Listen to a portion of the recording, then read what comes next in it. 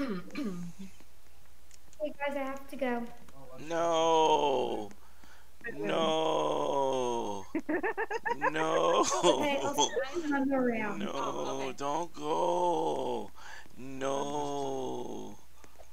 I'll squeeze in one more round, DJ. No, you have to go. I don't want you getting in my trouble. No, you have to go. Dad, You can't get in DJ's trouble. fault. It's DJ's You fault, Dad. Let me talk to your dad. Wow. Okay. Why? Steven, it's her bedtime. Send her on her way. It's actually not. It's taking away uh, video game privileges. No more technology for the night. Okay. Is That's that- okay. Unless it bounced off No, my they just like, don't want me to play with a weird boy like you. Well, yeah, you don't want to do that. I agree. round, we'll-